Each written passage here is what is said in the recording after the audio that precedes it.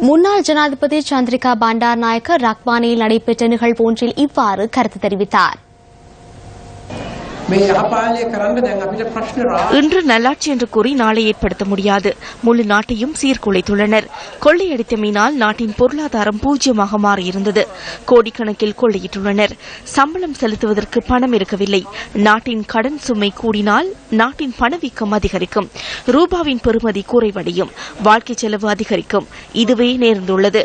தொழில் வாய்ப்புகள் ஓரளவு வழங்கப்பட்டுள்ளன. அதிக வேலை வாய்ப்புகளை வழங்க முடியவில்லை. அபிவிருத்தி நடவடிக்கைகள் சிறிது சிறிதாக முன்னெடுக்கப்படுகின்றன. எனினும் பாரிய முயற்சியினூடாக பொருளாதாரத்தை அரசாங்கம் சரியான பாதைக்கு இட்டுச் சென்றுள்ளதன் பயனை இந்த வருடம் நீங்கள் காண்பீர்கள்.